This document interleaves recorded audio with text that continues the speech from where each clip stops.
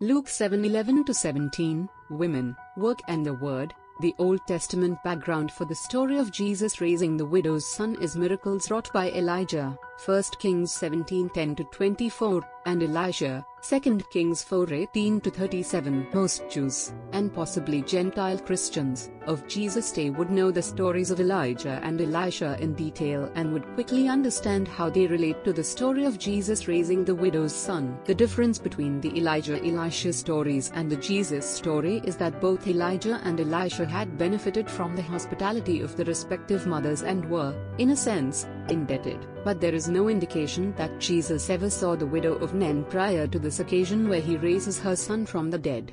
It is a companion story to the story of Jesus healing the centurion's servant, 7 to 1 to 10.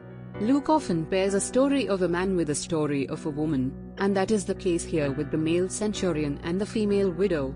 In both stories, Jesus' word has great power, power to heal, even at a distance, and power to raise the dead.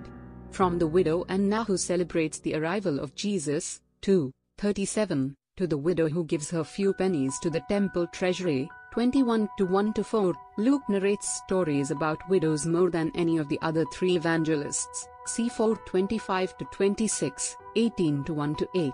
2046 to 47, also Acts 6 1, 936 to 42, as widows were one of the group's most needing community care according to Israel's scriptures, along with orphans and non-Israelites living in the land, see Deuteronomy 14:29. So Luke highlights both the widow's need and Jesus' compassionate response to her situation. The credibility, continuity, and identity of Jesus are recognized only after the raising of the widow's son. Let us look at the particular story in Luke 7:11 to 17. This story is unique to Luke. In contrast to so many of the healing stories, the person in need of healing never asks for Jesus' help. This mournful mother does not seek Jesus out. Her faith is never commended.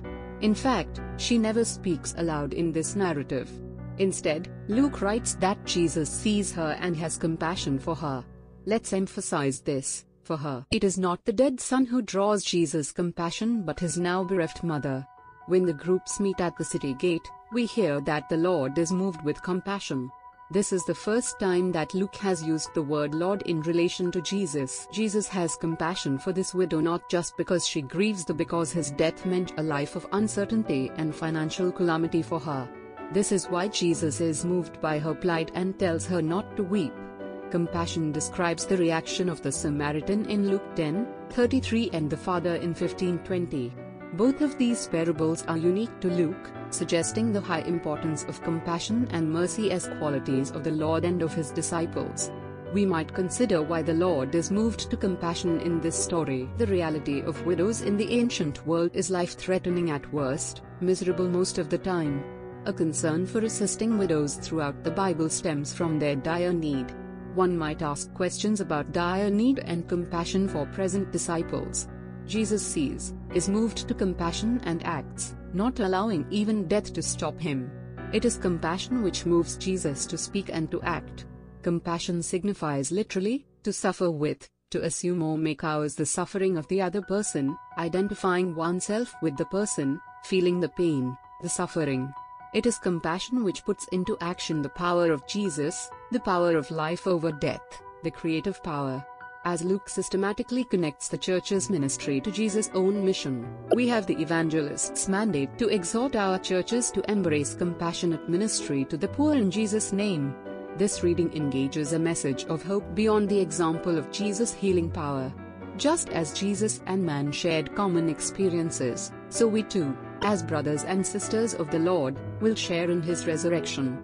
If we know of the faith of our loved one, we can have confidence that like Jesus, she or he too will be raised.